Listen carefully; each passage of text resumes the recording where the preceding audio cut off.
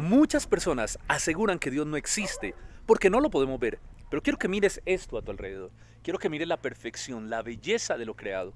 Dice Romanos capítulo 1, versículo 20, que las cosas invisibles de Dios, su eterno poder y su deidad, se hacen claramente visibles desde el principio de la creación, por medio de las cosas hechas lo que quiere decir esto es que aquellas cosas de Dios que no vemos, como su eterno poder y su divinidad, Dios las ha dejado plasmadas en la creación. La creación es el lienzo donde Dios ha pintado y donde Dios ha expresado su poder, donde podemos ver su existencia, es innegable.